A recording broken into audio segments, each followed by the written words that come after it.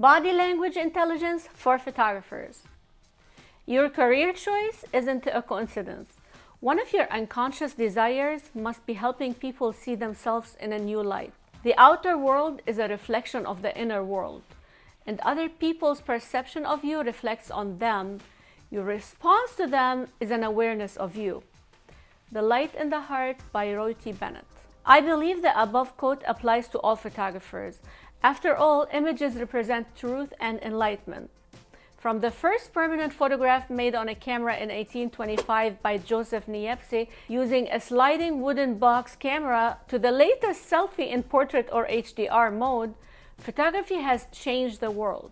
Since the invention of photography, concepts and realities have changed. The last two centuries have been the most exciting, as thanks to photography, we can document the history of mankind. We're virtually celebrating 200 years of photography as a science and art. We owe everything we know about this world to a photographer, a videographer, and of course, an author. From the hidden world of the creepy microscopic bugs in our lashes to the Hubble Space Telescope images of the Eye of the Creation Helix Nebula, we have even tapped into the spectra concealed from our human eyes like infrared and X-ray. Our awareness have developed immensely with the invention of still and moving pictures. We respond strongly to visual stimulation, and our brains can form ideas, responses, thoughts, and creations and reactions based on what we see, even in a picture. We've all heard how the first 15 seconds of an impression can last forever. Is it true? Is it fair? How can we ace this impression and be ourselves at the same time? What version of ourselves should we introduce? Are we even comfortable revealing who we are? This book leads you to understand how people's body language and facial expressions change with their thoughts and feelings. Still, we're unique individuals and we all have different ways in revealing and concealing ourselves, similar to how we all have other love languages. We have a mix of moves and activities to express who we are, what we want, and where we're going. Some of those expressions can be facial movements, involuntary gestures, voice tonality, speech speed, body language, and much more. What goes on in our bodies on the cellular level is hidden, but it leads to several muscle movements, something that we can actually see. What we're trying to do here is to dissect those motions and concentrate on the visible signs. Once you listen with your eyes, you'll find everything you need to hear. However, this book is not only for understanding the nonverbal communication of other people, it will also help you understand yourself. Truly, not knowing yourself is not an option anymore. Awareness is a global sensation, and being able to express yourself nonverbally is an instinctive art that we all have mastered. After all, we communicate nonverbally daily. 75% of our communications are nonverbal. Yet, while this art is expressed widely, it isn't interpreted correctly. Do environmental circumstances and culture affect nonverbal communication? Absolutely. This is a part of the reason for the translation mistakes between the cultures. To be able to read and perceive intended meaning of nonverbal communication, you need to dig deep into our natural history, our brain, and our instinctive responses. Once you've mastered the art of reading others, you'll be able to help them bring the best version of ourselves in front of your camera. Other than mastering that technical aspect, what makes a photograph exceptional? We're living in the medieval time of the photography standards. Let's face it, any photographer who has been trained well in either a workshop or at an art studio will tell you that this is the rock bottom for photography as an art. It used to be worth a thousand words and now it's pretty bankrupt. Why? Supply and demand. There's an excessive supply of photography, and even though the standards for decent photographs have lowered significantly, the demand is still there. But with such low standards, the value of photographs have gone downhill. You hear it all the time from photographers. I'll take 100 photos and one of them must come out okay, right? Well, no. Focus.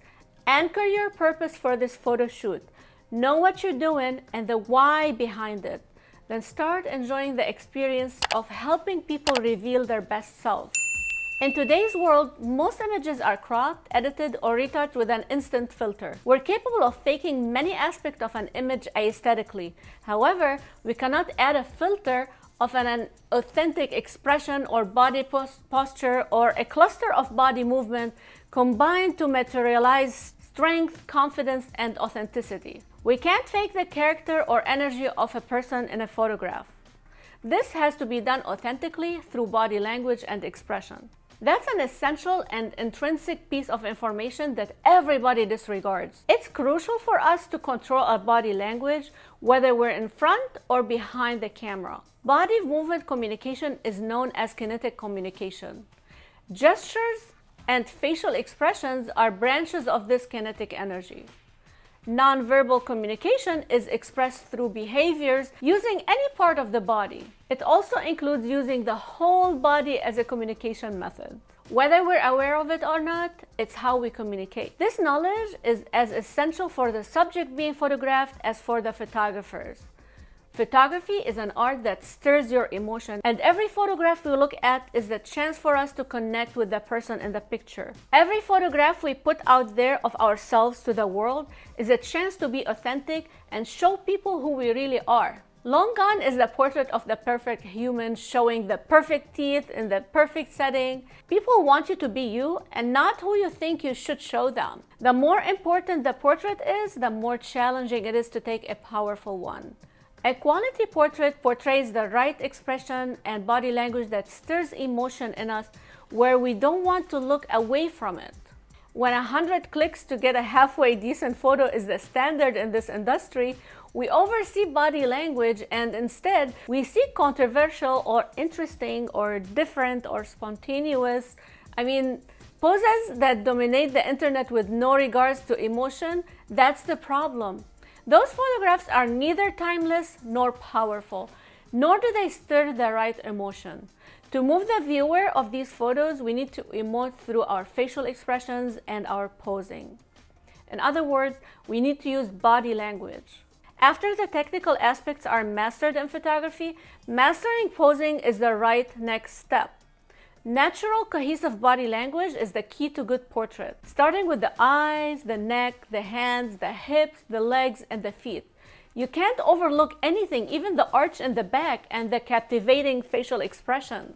Those are elements that make a portrait. However, most photographers struggle to bring the right body language out of their clients. It's not an easy task to help someone own the camera and make it work for them. We've all had cameras directed at us and immediately our thoughts are bounced out and right and left and the freak out face comes out like we're so used to this. It requires certain skills to escape this uncertain look, skills every photographer should have.